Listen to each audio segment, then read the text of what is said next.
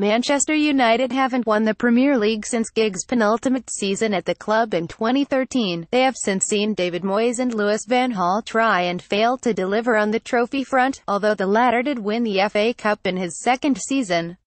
Giggs, who won 13 league titles during his playing days under Sir Alex Ferguson, spent two years as Van Gaal's assistant and he has shockingly slammed the club over their transfer policy during his time working behind the scenes at United, claiming they missed the chance to sign both Jesus and Mbappe.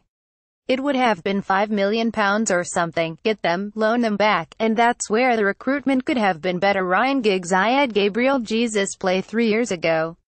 I had Mbappe for a year. I was in them with the scout and it was a no-brainer, Giggs told The Times, it was just like, get them.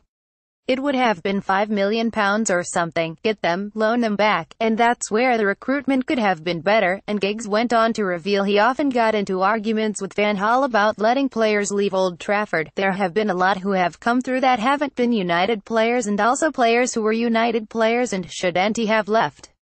I'm talking about Rafael, Da Silva, Danny, Welbeck, Jonny Evans, players who are United through and through.